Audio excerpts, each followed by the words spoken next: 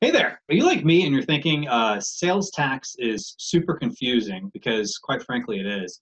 Um, especially here in the US, having now started selling in Canada and throughout Europe, um, sometimes there's the impression that it's confusing when you get into the other countries. But once you kind of learn their systems and kind of how their system works, I find it to be simpler than it is here in the US.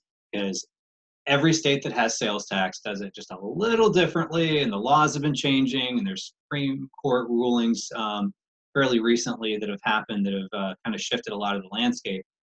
So I'm super excited today to have on Maximizing E-commerce uh, with me Martina Chavez from Avalara, who's an absolute expert and a great resource on the subject of sales tax. And just as a uh, disclaimer, um, Avalara is a um, a sponsor of Brand Accelerator Live, who, of course, I, with my good buddy Scott Voelker and the rest of the team over at uh, The Amazing Seller, um, we are working on putting that together. So, um, super excited to get into this conversation and talk about the exciting world of uh, sales tax because at the end of the day, we want to make sure we're doing our best to uh, stay compliant and everything. So, Martina, thank you so much for being here today.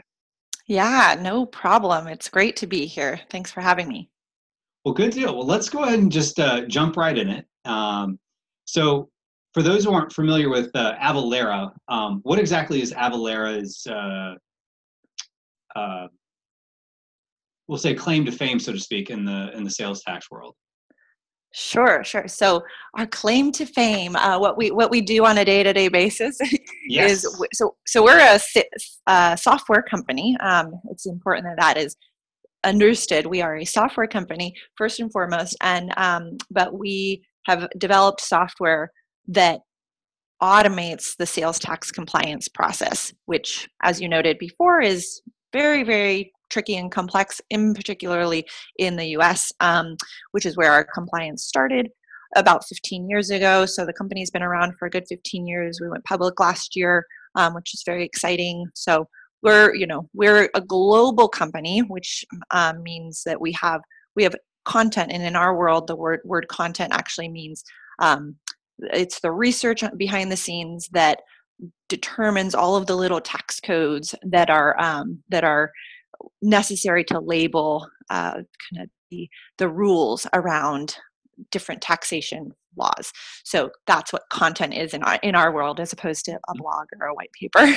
um, so we we have content for over 160 countries in in the world and in the united states alone i mean there's over 60000 tax jurisdictions so we're talking a lot of different uh, details to keep track of and um, typically in the you know, over time what we've what we've gotten really good at is the cal- calculation piece so we have a calculation engine and we also have um, we also handle the sales tax registration piece and the sales tax filing so an end-to-end compliance solution Awesome, awesome.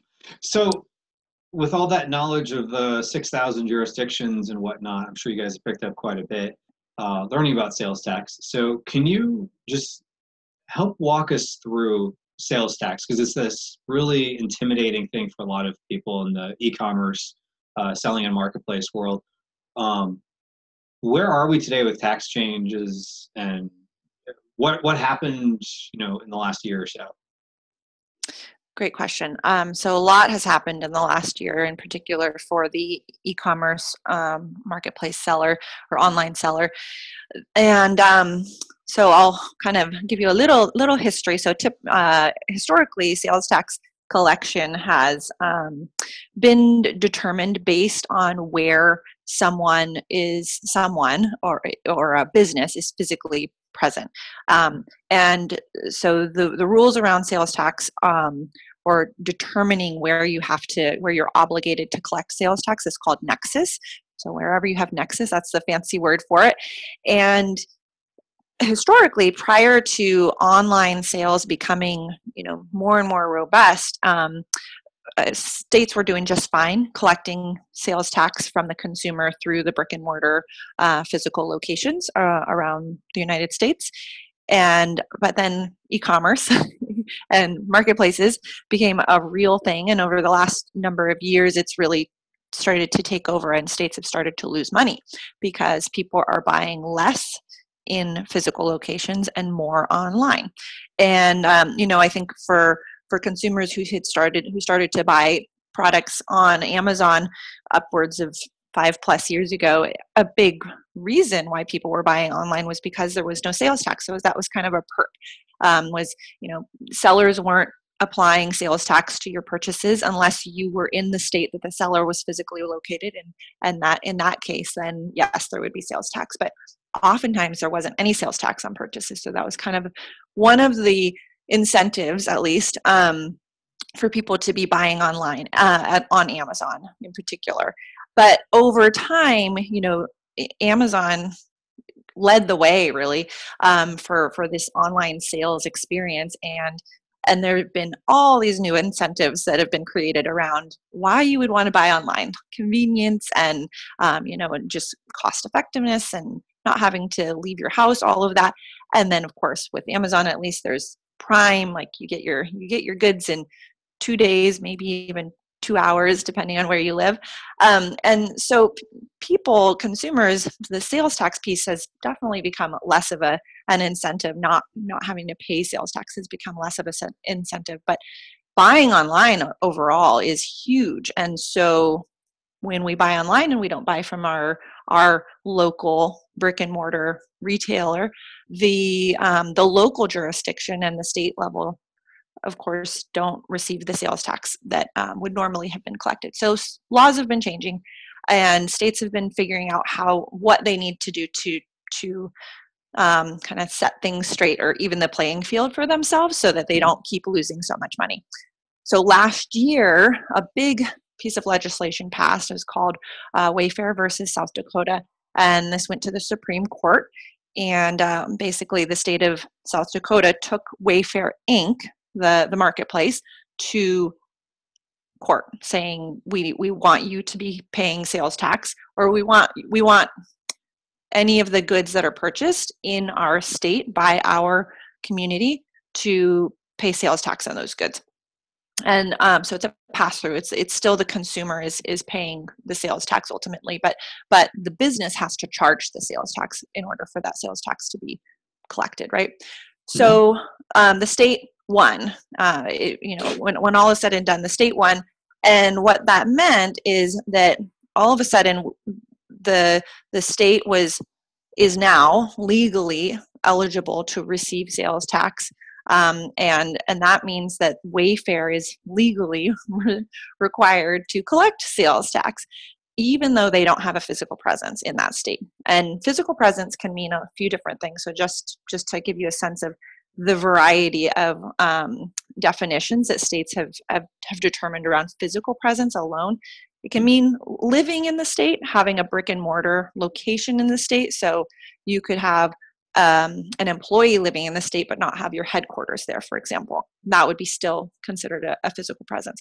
It could also mean just storing inventory in the state. So that's another um, area that Amazon FBA has definitely encroached over the years um, where sellers are storing their inventory or Amazon is storing that inventory on behalf of the seller all over the place and and essentially establishing physical presence presence triggering physical presence for people in many many places um, prior to their there being any uh, knowledge of that.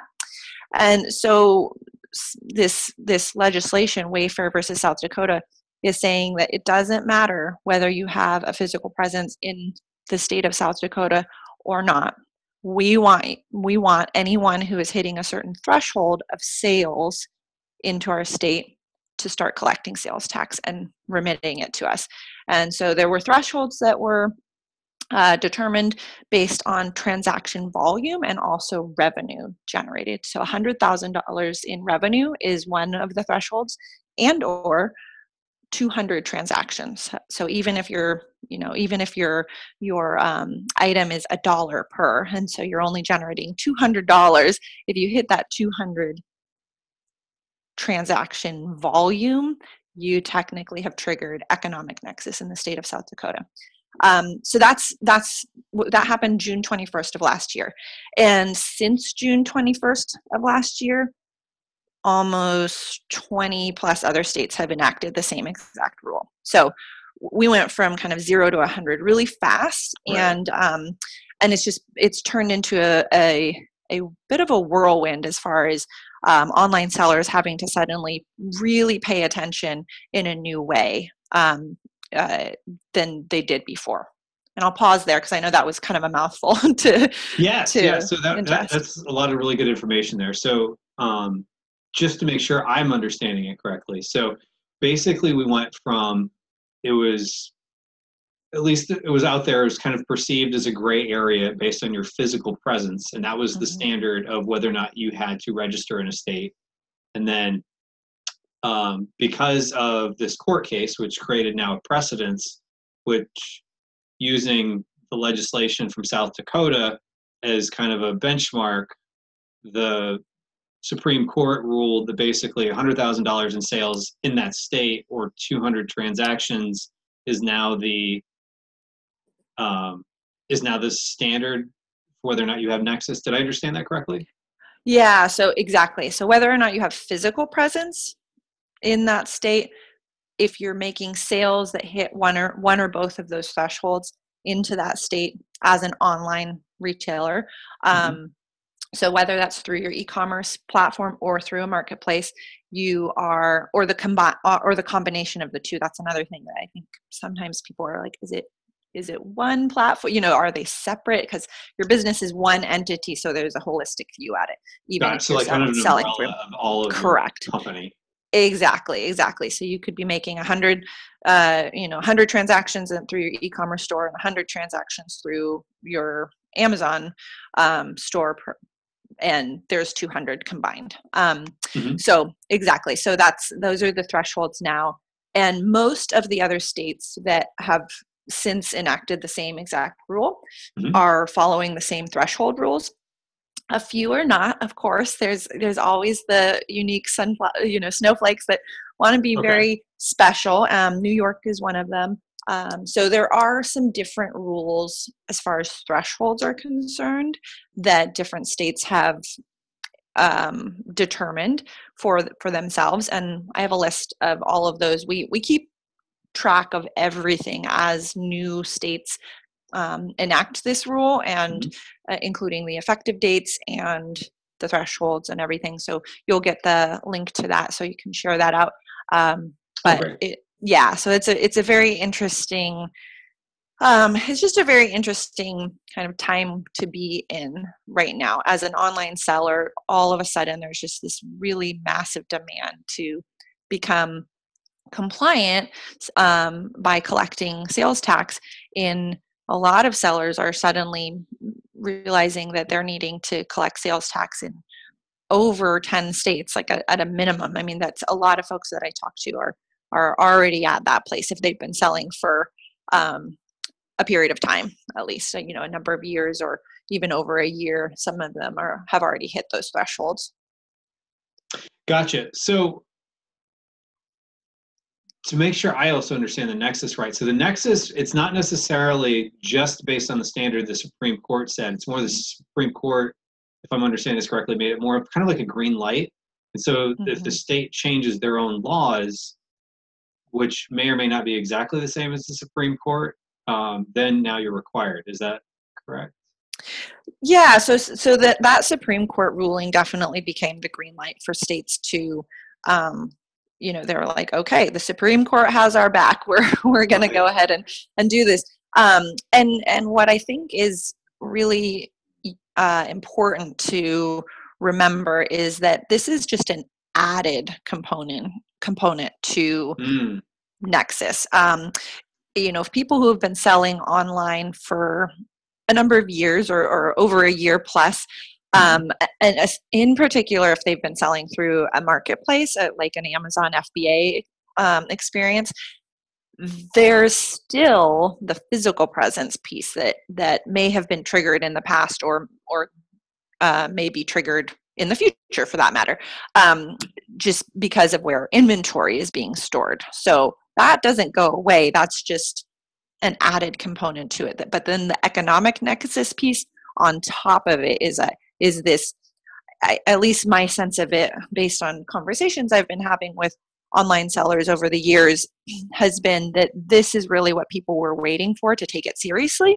Um, there was kind of a little bit of a wait and see attitude around um, sales tax compliance, in particular in the marketplace space, uh, mm-hmm. just because this legislation was, you know, it was unknown. No, nobody knew what the outcome was going to be, and so people didn't want to um, st- go down that road of of getting registered and starting to do all this collection process because the registration process it can take a little time and um, you know and it's certainly there's certainly a cost up front to that and so naturally businesses are wanting to hold off and and just see if they actually do need to do this thing or do they or you know are they in the clear? And it turned out that yeah they do they do need to do this thing. It's it's um it's been enacted into law. So it's you know there's there's very clear definitions around it now. Um, so the gray area really is is much less gray gotcha so now things are a little bit more defined and that was i think a lot yeah. of people's complaint before was it's like do i need to do i not am i putting myself on the radar for other compliance things whatever right. it is but now that it, it's coming down to yes you're going to have to register for sales tax um, in certain states. So you had said like um, New York, for example, is now requiring sales tax um, in a different nexus criteria than say other states. Is that more? Um, I don't use the word aggressive, but more. Um, or is it the threshold lower or higher? I should say. Um, their threshold is actually well, so it's higher in revenue but lower in transactions. So that's kind of a tricky on them. Yeah, it does. So their transaction volume is only a hundred transactions, which is, I mean, for the state of New York, or it, you know, it's like. Mm-hmm. It's a it's a high volume uh, state. There's a high, high demand, I should say. So it's like New York and and California and Texas and like those locations. Those are typically um, just really high demand um, for for the marketplace space at least. So 100 transactions just seems like you know people are pretty much everyone who's selling into new york at this point right. has already hit that. Um, and then but then their revenue amount is more than $300000 so they oh. I, you know so it's you interesting have to have so a pretty expensive product. You have to be selling like cars right right exactly. Totally exactly. Um so that's that's interesting.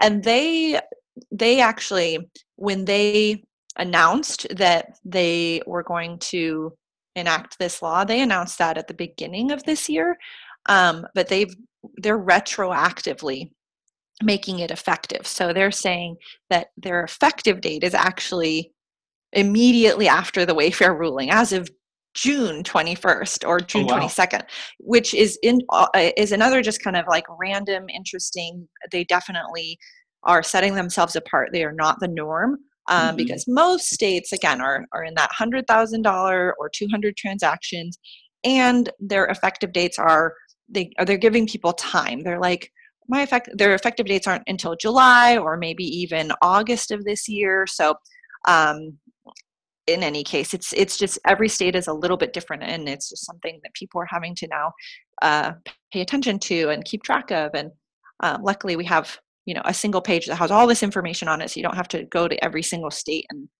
try to figure it out we're we're figuring it out for you and trying to keep it really organized um, for online sellers because it is just so it's just such a it appears to be such a mess if you had to track this on your own it would be horrendously overwhelming. Um, so we're trying to take right. the overwhelm out of it. Yeah, the, the crazy thing about sales tax is it's one of those things that I remember hearing. I think it was Tom Wheelwright, who's like Rich Dad, Robert Kiyosaki, his guy for um, accounting. He was talking about how um, he's never had a client go bankrupt because of the IRS, but he has because of sales tax. Mm, because if yeah. you're selling for like 10, 15 years and you're not staying up on this stuff and you're just like, I'll not worry about it, you know, eventually it could catch up to you. So, yeah, yeah. Um, so if, if you're an established seller you know, you definitely need to be following up on this. Now, what is your advice for someone who's maybe just gotten started, maybe they're within their first year, like they don't even they probably haven't even hit the transaction thresholds yet because mm-hmm. you know they're still kind of new in all this. So what what would be your guidance either someone starting out or if you're going to say hey, if you were going to start all over from scratch, this is what you should do established sellers. Totally. So, so for new sellers, like the good news is that it it isn't nearly as um, as kind of a, a big of a pill to swallow because mm-hmm. in all likelihood you haven't triggered nexus in over 10 states you know? As a new seller you definitely have to get compliant in your home state. That's always you know rule of thumb unless you're mm-hmm. living in a state that does not collect sales tax at all. Um, and there are a few of those. And if you have inventory storage in another state so if you are using if you're selling on amazon and using fba you have to track where your inventory is um, is starting to get shipped off to and and where it's getting stored um, and as as you determine and it's okay if you know that you don't know in advance after after you do find out after it's been stored someplace and the sale has been made then you need to just keep track of what states those are and start getting registered in those in those states. Um, because as long as you're on amazon and as long as your inventory is being stored in those locations in all likelihood your inventory will as you become a you know more valued seller on the platform mm-hmm. um, the your inventory will end up going more places but it'll also continue to go to the the same places it originated usually it starts by going to the bigger states so california texas florida are three like kind of the big three that um, a lot of sellers see their inventory living at when they first get started but then slowly but surely they'll see it getting distributed um, in into other other states. And there are 29 states that have um, fulfillment centers in them now so there's a lot of states to be keeping track of. Um, and so that's this kind of the starting process for for for watching where your inventory is being stored. And again that's referencing physical presence there are other ways that um, a seller could establish physical presence if they have an employee living in another state that's on payroll that's not contract. Um, if if they do have a second location you know th- those are kind of standard ways. There's some very kind of tricky physical presence um, rules like some states determine that if you've gone to a trade show that's work related a number of times in a year that that somehow establishes or triggers a physical presence so you know those are probably less of a concern but there right. are there are some gotchas in there you know that that states are they're they're just trying you know they're just trying to figure out how to how to get paid basically um, but really then on top of like if you just look at the standards of where you live and where your inventory is being stored you're you're pretty well covered for physical presence. And then the next step the next layer to that is um, economic nexus. And you may find that your economic nexus is also um, you know is triggering in a state that you also have physical presence. So you may have a, di- a couple different ways that you're triggering. And there it doesn't mean that there's two or more different ways that you need to register. It's just okay that one state is you've hit you've hit it in two or three different ways and you got to get registered to start collecting sales tax there. So you're you, you need to watch um, your your sales and whether that's where your inventory is being stored or just how much uh, revenue you're driving or how many transactions you're selling into a, a, a state that has economic nexus rules which there are upwards of about 20 now. Um, again, I have a map and I have a, a list of all those states. So, so right. trying to trying to make it a little bit easier, but um, those are the things to look out for. And my guess is that as a new seller, you know, it will be a it won't be all in one. You'll be registering for one state at a time over the course of a year or more. Um, if you you know if a, as a new seller you just really start to kill it um, you you may have to get registered a little bit quicker but i think that uh, in in general on average new sellers are probably going to need to start registering for maybe upwards of three to five states in their first year, and then going forward again as as the volume of their sales um, continues to improve and and revenue continues to grow. That'll be just adding on to those those states that they started with. Gotcha. So one of the other kind of curveballs that's been thrown out there, especially if you're a more marketplace um, driven seller, is this marketplace facilitator. Can you mm-hmm. shed a little light on what that is? Because I've seen it people talk about in Facebook groups and whatnot, and I've seen a lot of conflicting information on what that even means.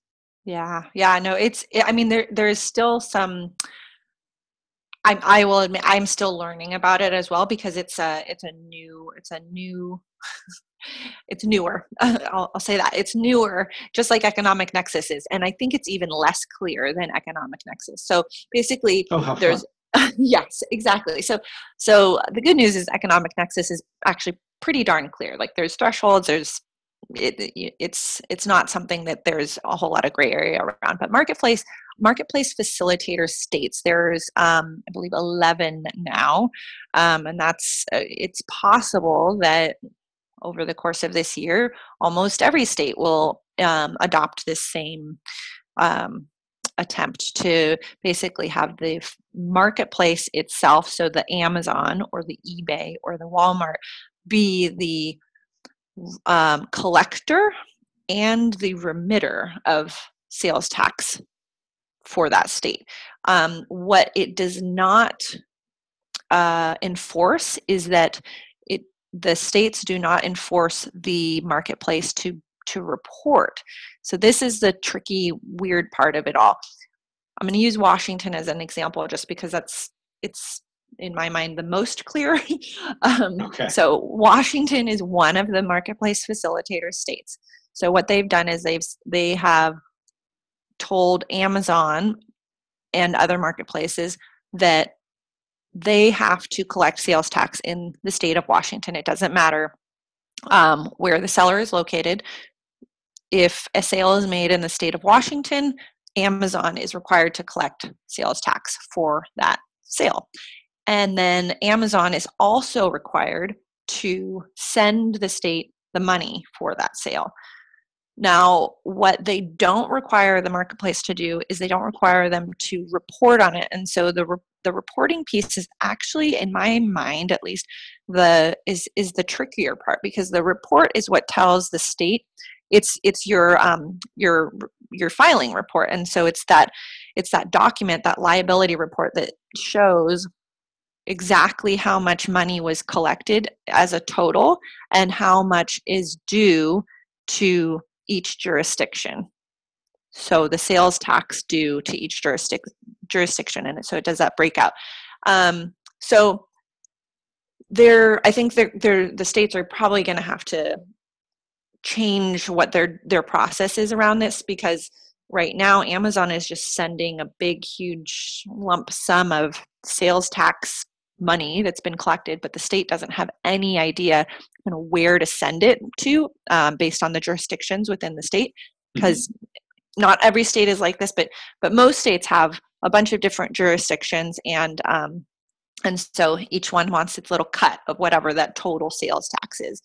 Um, so the merchant of record, whoever the seller was that sold you know the pen or or you know whatever the arts and crafts kit um, to, to somebody living in Washington, that merchant is required to report on the sales tax that was collected. And it ends up being a zero dollar return, but it does, it is the only reporting method that is currently um, that currently is required of of the merchant and and the marketplace is not required to do that reporting. So that's i think what is super compute, confusing about marketplace facilitator states. And again things may change um, and I, I do hope that they they change for the better so that it's not so confusing because right now sellers are not i think a lot of sellers are not aren't even aware that they're supposed to be reporting on um, I don't think Amazon tax. makes that clear because when you no. tax settings, it's basically and I'm not reading it verbatim, and I'm probably destroying what they actually put because I'm sure Amazon covers themselves, but it's more like here's the boxes of the states that you could put in sales tax mm-hmm. registration in because then they'll collect and then give you the money, and then you have to be responsible for filing. It's just basically right. grayed out in the states that they collect and send right. on your behalf. But right. to your point, like if there is a requirement to file, that's that's not totally clear. Right. Um, so and so I and I and again I will say I don't know if it's because Amazon is not clear on that and they're not making it then clear to the seller or if, if also then the state is still um, you know my understanding is that there is a requirement to report the reporting piece of it is yeah. is not has not been eliminated. Um it's just it's uh that's that's a big gray area where uh, there's a lot of confusion at least well, around who's actually required to report. Sure and i think part of it is just to give a, a personal story. So my birthday and christmas are just within days of one another. And um i got envelopes around that time period from a law office. My wife was like, Is there something you should be telling me? and there were Christmas cards and a birthday card from a tax attorney here locally that I've gone to. And of course, he's going to send me a Christmas card and a birthday card because every time I talk to him, it's the equivalent of a car payment. And even he doesn't give like definite answers do this, don't do this. It's kind of like going around. So I can only imagine Amazon doesn't want to get in the middle of that because they're not charging us for tax um, information. So I would say that's probably a lot of it. So yeah. I think that's kudos to Avalara for like putting in the resource and whatnot. So I'll, I'll make sure to to link to that. So yeah, so yeah. marketplace facilitator is whether or not you have to register, but it still could get muddy if you have if you are required to register and file even a zero dollar amount uh-huh. in say a state like Washington, but you're also getting on your Shopify site. Um, right. Or, you know, maybe you're doing something in ClickFunnels or something where you're driving sales, but now you're responsible for the sales tax in those states. Right. then you would have to. So then you'd have to have some way of like maybe a spreadsheet or something to keep track of all that. Then wouldn't you? Yes. So, and ideally, hopefully, you wouldn't be having to use a spreadsheet because there are automation tools to to to support you with all of this. So so that's i think that the best news of it all is it's it is super confusing and it's it's hard to talk about and it's hard to define because the rules just really aren't haven't been made really really clear yet.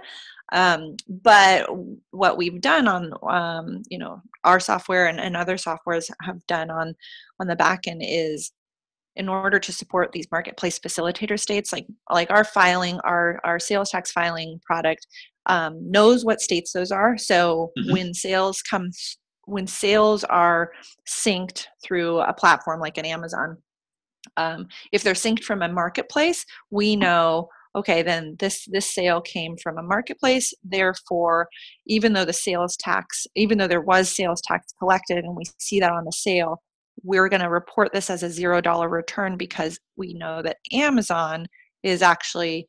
Holding the money and remitting the money. So this this merchant of record doesn't have to send any money to the state because Amazon is doing that already. But the Shopify sales that have sales tax associated, those that sales tax does need to get remitted to the state because it didn't come through a marketplace it came through an e-commerce shopping cart instead um, or shopping cart environment um, or or other so you know so we were able to distinguish between a marketplace and a non-marketplace and the sales tax collected from um, from both sides and which which sales tax actually needs to get remitted by the merchant and which sales tax is already being remitted by the marketplace. So we we sort it out a good point you brought up that there's software tools that can do some of this for you because i have been very guilty of thinking i'll just figure it all out maybe it's just my own personality where I just look at the world as a big puzzle that I'm going to be able to figure out. And I realize I'm just wasting my time that I could be doing on higher um, mm-hmm. um, activities. And, um, you know, so that is great that Avalara has that platform. So um, tell me a little bit about what it is that Avalara's platform can do for you besides sorting through, uh, you know, different transactions between facilitator and not facilitator? Sure. So for I, I mean I would I would say for the online seller, most frequently the the biggest onus is the filing requirement because for platforms like Shopify and BigCommerce, which we mm-hmm. find mo- most people are, are, who are selling online, like those are the two platforms that they're on. There's still a few folks using Magentos, and and you know, I mean, then then depending on how large of a seller you are, there's there's people using NetSuite and other, and we have we have integrations into all of those endpoints. So for Shopify and BigCommerce, though, as as a primary example, we have an embedded solution as the sales tax calculation engine with both of those. So when you turn on sales tax calculation in BigCommerce or in Shopify, you are turning on Avalara basically. You're turning on the the the brain of Avalara, if you okay. will. Even um, if you're not and, signed up with Avalara? Correct. Even if you're oh. not signed up, because we that's just the relationship that we've built directly with with um, with Shopify and BigCommerce. Yeah. So it's it's great because it's a it becomes a, an immediately available tool for the mm-hmm. calculation, and the calculation is really tricky. You don't want to be messing around with trying to figure out what to calculate in different states, especially if you've you know if you're suddenly required to collect sales tax in upwards of 10 plus states or even just even more than two quite frankly um, depending on the jurisdiction you're selling into in that state you know the tax rate could be different so so that's all consider that done um, and then same with on the, the marketplaces themselves amazon has a calculation engine which is something that you spoke to you know you can turn on sales tax calculation once you have that registration id so you do have to prove that you've registered in the state before that can be turned on um, but the calculation piece is pretty much done for the most part when you're selling through a marketplace or through most e-commerce um, platforms.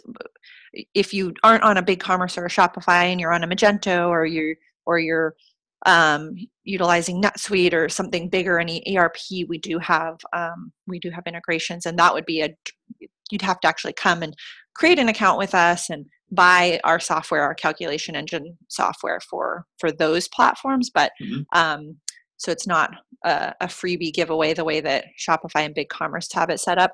Uh, but it, the the technology exists. Um, so for the most part, though, the registra not the registrations, the filing process, the returns filing process is really the big time consuming clunky part where you have to aggregate all the data from multiple different sources you know we're we're talking omni channel so mm-hmm. you're in selling through a lot of different places and you need to aggregate it into um, one or more sales tax forms based on the state and then file appropriately based on whether you've been told by the state that you're an annual filer monthly filer or a quarterly quarterly filer and just keeping track of all of that is time consuming. I mean, it, it really comes down to time. It's just a, a something that unless you have an accounting department that that is what they do, mm-hmm. you as a business owner are going to be the one spending your time every month look, trying to aggregate the data manually, um, which right. is very challenging, and on you know spreadsheets, right? Um, and then and then spending time on state DOR websites and you know submitting the forms, filling out the forms, submitting the forms, paying the the cost due at that point, the sales tax due. Um, so you know we we think of ourselves in and we've kind of uh, used the example of we're like we're like an outsourced payroll. You know, people. Mm-hmm. Are really familiar with outsourcing payroll because there's risk involved in getting it right, and it's the same thing with sales taxes. Risk involved in being in compliance and getting it right, and it's just usually the the time is not worth the the um, you know becomes a greater cost than it would be to just outsource it for for pretty inexpensive. So I know Avalara is a pretty big company that does all kinds of different tax. So what do you guys have as a solution for um, like a like a smaller marketplace seller? I smaller, like you know, someone that's not like a eight figure seller, but you know, for someone that's you know in the hundreds of thousands or you know in the you know single digit millions you know mm-hmm. what is it you guys have as a solution so we are the primary product would be our Trustfile product and that's our our self-serve filing product returns filing product mm-hmm. um, so like i said usually the calculation side of things is already taken care of so you're just needing to worry about filing um, and we have subscription based models um, that are flat you know flat subscription based so there's no hidden fees. Um, so we have one that's standard it's $240 a year. So for someone who's selling and or registered to collect sales tax in usually in less than 10 states like there's kind of a threshold there then $240 annual subscription and paying a per return rate of $18 is a really is the best model. It's kind of the a la carte model. Um, so you only pay when pay for the return when you need to file um, and then if for people who are selling in a lot of states um, and and need to be collecting and remitting that sales tax in a lot of states usually over 10 we have a, a flat fee of $3000 which is annual and it's a all inclusive so you can you can file as many returns as you need to. So if you're selling and or are collecting sales tax and needing to file a return in let's say 12 states and each of those states ends up being an, uh, a monthly filing that's a lot of returns to file so you know $18 per return would add up pretty quickly and end up being um, more than three thousand um, dollars. So that's that's kind of the rule of thumb, and three thousand dollars would be the the cap. It'd be the most expensive um, someone would pay. We do also that's our self serve product. We do also have um, what's called managed returns, and that means that we manage the notifications from the state, and a lot of people really appreciate that service as well. Um, it's a little bit more expensive. The on average, it's about $58 per return for that service just because we're we're handling everything so it's a really truly no touch experience from the from the merchant's end um, but yeah those are those are our our models for filing returns yeah, so that's that's interesting because I'll, I'll, be completely upfront with you. I don't mean to make this into sound like it's a commercial for Avalara, but I switched over recently because I was using one of your competitors, and I had always thought they were less expensive than Avalara until you mm-hmm. you and I talked yes. file, and I compared my bill. So last month they did a couple of auto because I still am a little bit of a DIY guy. But they did a couple of auto um, filings for me, and you know what I paid there per month.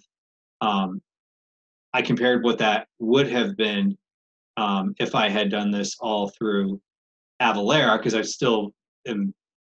I hadn't switched in time to do it um, on Avalara yet, but mm-hmm. it was about a, almost almost a forty percent savings. Now, granted, that math isn't going to work out the same for everybody, but I was surprised about that because I had always, for the longest time, thought Avalara was like this super expensive unless you're doing like maybe three, four million dollars a year.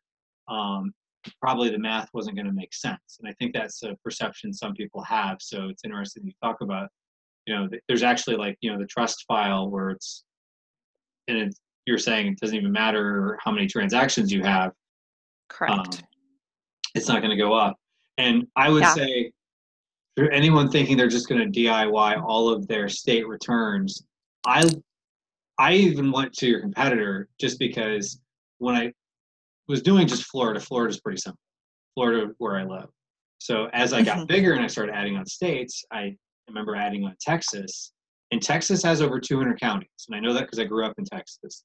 And there's areas of Houston that there's like at least four districts you have to account for, and Amazon doesn't tell you this.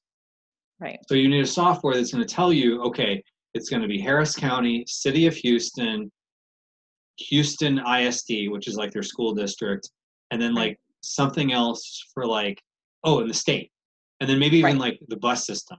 Like, so there could be four or five for one transaction. And try to figure out if you have a dollar eight of sales tax, where to divvy that up is like almost impossible. Yep, yep. That is such a, a perfect example of of how nasty it can it, it can be so yeah exactly so that's why automating just like you got to automate no matter who you're using you got to automate um, unless you want to spend hours of your, your life trying to do it manually. I like, I appreciate that. That's they're like, let me see if I can do it. Um, I mean, you know, there's there's a certain level of you know, it can be interesting to try to figure figure out the puzzle, but but right. I think at the end of the day, if you're really serious about growing your business, it's just it's not a worthy um, it's not worthy of your time you know your time is so much more valuable spent on growth on right. mar- marketing and sales you know like how are you gonna how are you gonna get that right yeah hiring yeah, a team exactly you know, and not that yeah so very good exactly. point now for people that sell internationally does avalara because i know a lot of competitors don't but does avalara have like where you could theoretically and i haven't done this but um, this is kind of more for my own knowledge does avalara have where you could house like uh, you know Canada tax and Europe VAT under one roof, so to speak? Yes, yeah. So we we also handle VAT compliance and and then of course Canada GS, GST HST. Um, we the only thing we don't do in Canada is the registration process, but everything mm-hmm. else the the collection and the um, remittance process we um, can automate that through our software as well. So yes the answer is yes and and like i said we have um, content or we're able to offer a compliance solution for over 160 countries in globally great and i'm a firm believer in uh, one of the best ways to grow your business is to grow internationally so that's nice yeah. that uh, avalara has uh, solutions available which i can't speak to because um, uh, i've not used them um, and i'm still can't speak 100% to the uh, uh, the Trustfile platform, but I did uh, start switching over, and I'm looking forward to. I mean, it was pretty simple to set up, so um, I definitely yeah yeah checking out. So awesome. I'll link to uh, um, where they can go for more information, both the uh, what you mentioned as well as if they want more information on Trustfile, and then of course you know that resource you mentioned. So um, yeah, perfect. Great. Well, um, is there anything else you want to share with uh, uh, anyone that's uh, watching and or listening? Um, you know, I, w- I would just say if you have any questions, you're also more than welcome to reach out to me directly. I, I love chatting with people and diving into all this stuff. Um, so my my email is martina.chavez at avalara.com. Feel free to to find me um, through email and also LinkedIn is another way we can connect if that's um, interesting to you. And I will be seeing you at Brand Accelerator. I'm excited about that. We'll also be at Seller Summit. I mean, we're gonna be we're gonna be hanging out a lot this year. I think so. I know. It'll I know. be it'll be fun. Talking about tax. It'll be so awesome. So much fun. I mean, it right now is a very interesting time. So, uh, you know, we're happy to be a resource and, and I, you know, I love this space. So whatever I can do to help, you know, take the pain away so that you guys can just sell your hearts, hearts out and, and grow your business. That's my goal. Well, thank you, and I really appreciate you. Uh, you broke it down very simply, and uh, I know this is a um, as much as I joke about tax, it's a it's, it's almost you know, for a lot of people like going to the dentist not necessarily something they want to talk about but it is something you have to eventually do. And so True. you help break it down in a way that was very simple. So i appreciate you taking the time to uh, to do that.